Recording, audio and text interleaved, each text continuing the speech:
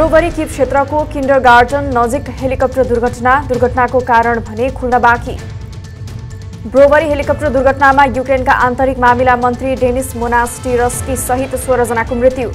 Ukraine द्वन्द्वको कारण Moscow विरुद्धको अमेरिकाको हाइब्रिड युद्ध भएको रुसका लाभरोभको आरोप। युक्रेनी सहर डिनेप्रोको एउटा अपार्टमेन्ट भवनमा शनिबारको रुसी मिसाइल आक्रमणको भग्नावशेषमा खोजी र उद्धार कार्य सम्पन्न।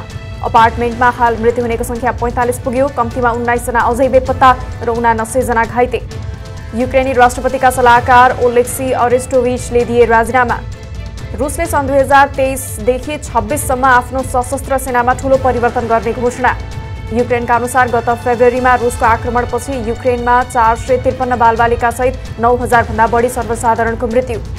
युक्रेनका शीर्ष जनरल भ्यालेरी जालुजनीले आफ्ना अमेरिकी समकक्षी जनरल मार्क मिलीसँग पहिलोपटक युक्रेन पोल्यान्ड सीमा नजिक आम्ने सामने कुरा गरे। विश्व नेताहरूलाई पुटिनको सेनालाई आफ्नो माटोबाट हटाउन प्रयासलाई तीव्र बनाउन युक्रेनको आग्रह। बोरिस पिस्टोरियसलाई जर्मन चान्सलर ओलाफ स्कोल्सद्वारा जर्मनीको नयाँ रक्षा मन्त्रीमा नियुक्त। नेदरल्यान्ड्सले युक्रेनलाई प्याट्रियट मिसाइल उपलब्ध गराउने डच प्रधानमन्त्री मार्क रुटेले जो बाइडेनलाई बताए।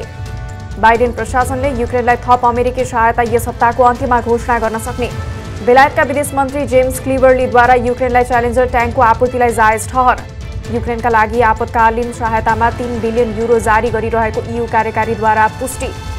रुसले युरोपेली सङ्घको प्रतिबन्धको बदला स्वरूप थप युरोपेली अधिकारीहरूलाई प्रतिबन्ध लगायो।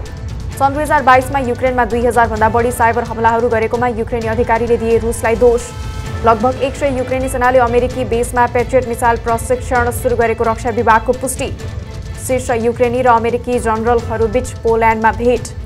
रुसी डिजेलमा युरोको प्रतिबन्धले पम्पको मूल्य अझ बढी बढाउन सक्छ।